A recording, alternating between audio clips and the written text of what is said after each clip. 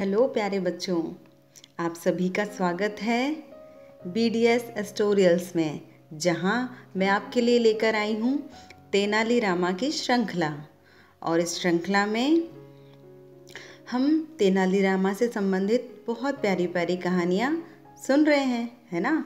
और मैं आपको क्या कर रही हूँ, सुना रही हूँ। तो आइए, आज हम एक और कहानी सुनते हैं। तो आप सब तैयार हैं ना?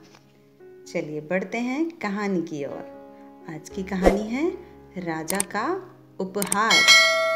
एक बार राजा कृष्णदेव राय बहुत खुश थे। राजा कृष्णदेव राय वही जो विजयनगर साम्राज्य के राजा थे, है ना? वह तेनाली से बोले, तेनाली कौन? वही जो उनके अष्ट दिग्गजों में से एक थे। आज मैं तुम्हें एक पूरा नगर भेंट करना चाहता हूँ। तो राजा कृष्णदेव राय तेनाली से क्या बोले कि आज मैं तुम्हें पूरा एक नगर मतलब एक शहर भेंट करना चाहता हूँ, भेंट करना चाहता हूँ, अर्थात कि मैं तुम्हें ये उपहार स्वरूप देना चाहता हूँ, है ना? जैसे हम किसी को गिफ्ट देते हैं ना तो उसको भेंट कहते हैं, उपहार कहते हैं हिंदी में, ठीक है? तेनाली ने झुककर राजा का शुक्रिया अदा किया। शुक्रिया अदा करना मतलब थैंक यू बोलना। और फिर क्या हुआ? बहुत दिन बीत गए, परंतु राजा ने आगे की कार्रवाई नहीं की। मतलब बहुत दिन राजा ने ऐसा बोल तो दिया कि मैं तुम्हें एक नगर भेंट करना चाहता हूँ, लेकिन फिर क्या हुआ? राजा अपनी कही हुई बात को भूल गए और कई दिन बीत गए और इस बात पे फिर कोई कार्यवाही भी नहीं हुई। तब क्या हुआ कि वास्तव में राजा तेनाली से किया गया अपना वादा भूल गए थे। वो सचमुच अपना वादा भूल गए थे। तेनाली राजा को उनके, उनका वादा याद दिलाने के लिए किसी मौके की तलाश में थे। अब क्या होता है, जब कोई हमको कोई प्रॉमिस करता है, कोई वादा करता है तो हम अगर उसे बार बार बार बार अगर उसे वो याद दिलाए ना तो क्या होता है कि वो एक टाइम पे जाके चिड़चिड़ा हो जाता है। तो हमें हमेशा युक्ति से काम लेना चाहिए। कैसे? कि किसी को अगर उसकी बात याद दिलानी है तो उसके लिए एक उचित मौके का इंतज़ार करना चाहिए। है ना?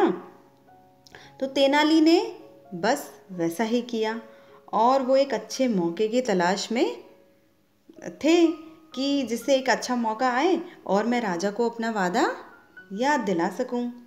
एक दिन अरब का एक व्यापारी विजयनगर घूमने आया अरब साम्राज्य, जहाँ से एक व्यापारी व्यापारी मतलब जो वहाँ व्यापार करने आया था, हो सकता है वो जानवरों से संबंधित व्यापार हो या किसी भी प्रकार का, है ना बिज़नेस तो आप सब समझ गए कि वो जो व्यापारी था अरब से आने वाला, वो कहाँ आया? सीधा विजयनगर। और वह अपने साथ एक ऊँट भी लाया था। ऊँट, समझ गए ना? ऊँट कैसा होता है? ऊँचा सा, लंबा सा, और उसकी पीठ पर होती है कुब्बड़ और ये क्या होता है? कौन होता है? दिमाग लगाइए। ये होता है रेगिस्तान का जहाज़, है ना? क्योंकि रेगिस्तान में ऊँट बहुत तेज़ी से चलता है और वहाँ पे इसे रेगिस्तान का जहाज़ कहा जाता है। तो वह अपने साथ एक ऊँट भी लाया था। इससे पहले विजयनगर वासियों ने कभी ऊँट ही नहीं देखा था। अच्छा तो विजयनगर साम्राज्य के जो लोग थे ना, वहाँ रहने वाले, उन्होंने कभी इससे पहले ऊँट नहीं देखा था। तो फिर क्या हुआ? अब जब आपने कोई चीज़ नहीं देखी है तो आपके अंदर एक उत्सुकता होती है ना कि चलिए चलिए, चल के देखते हैं। तो फिर क्या हुआ? इसीलिए ऊँट को देखने के लिए लोगों की भीड़ उमड़ पड़ी। अभी अगर हमारे गली में या कुछ कहीं पर हम जहाँ रहते हैं, उस क्षेत्र में अगर कुछ ऐसी चीज़ आ जाए जो हमने कभी ना देखी हो तो ऐसा होता है ना, आप लोगों ने देखा होगा ना कि उसे देखने के लिए वहाँ इकट्ठा हो जाते हैं लोग, भीड़ उमड़ पड़ती है। तो बस विजयनगर में भी वैसा ही हुआ। राजा कृष्णदेव राय और तेनालीराम भी ऊँट को देखने के लिए गए। तो भाई, राजा ने भी जब उन्होंने सुना कि ऐसे ऐसा कोई ऊँट लेकर आया है और चूँकि उन्होंने भी नहीं देखा था तो राजा और तेनालीराम भी फटाफट से चल दिए कि चलो भाई तेनाली, अपन भी चलते हैं कि ऐसा कौन सा ऊँट आया है। तो वो दोनों भी उसको देखने के लिए चले गए। राजा ऊँट को देखकर बोला, यह ऊँट कितना विचित्र जानवर है।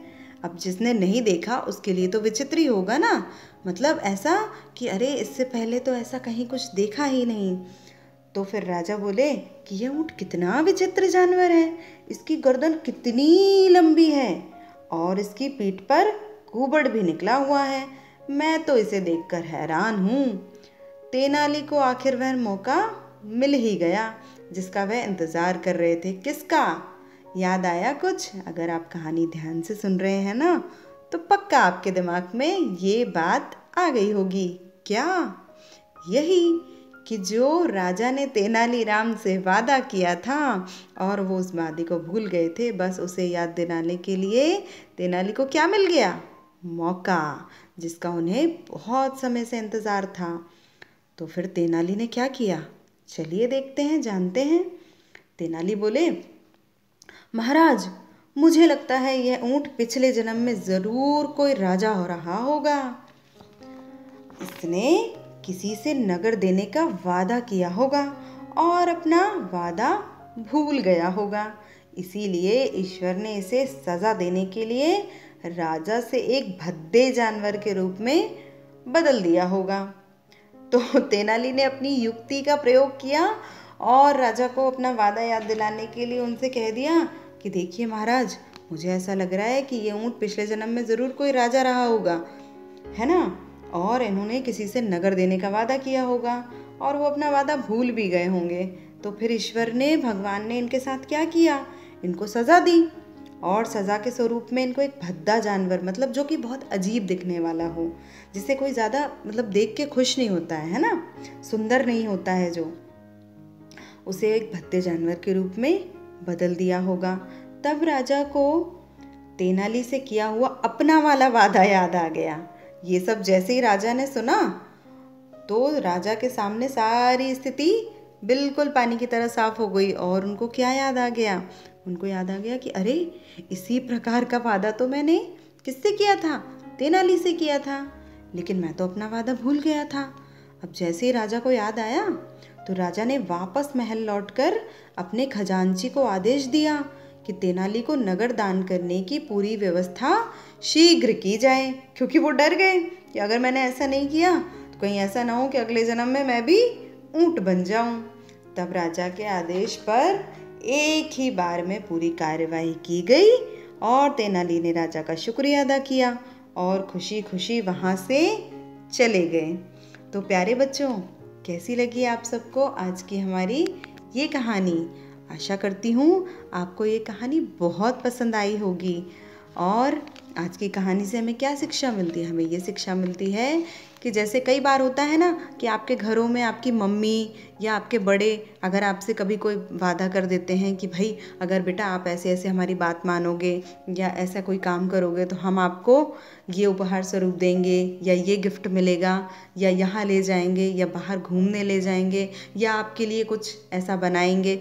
और अगर वो भूल जाते हैं तो आप उन्हें बार बार बार बार वो बात को याद दिलाकर उन्हें परेशान मत कीजिए, बल्कि किसी एक अच्छे मौके का इंतज़ार कीजिए और उन्हें अपनी युक्ति से उनकी बात याद दिलाइए, जिससे वो आपका काम भी हो जाएगा और वो चिड़चिड़े भी नहीं होंगे, आप पर गुस्सा भी नहीं होंगे। है ना? तो ये छोटी छोटी बातें हमें हमेशा सीख सीख लेनी चाहिए, है ना? तो आज की कहानी आप सबको बहुत पसंद आई होगी, ऐसी मुझे आशा है। और मैं आती रहूँगी आप सभी के लिए ऐसी और प्यारी प्यारी कहानियों के साथ। तो है ना?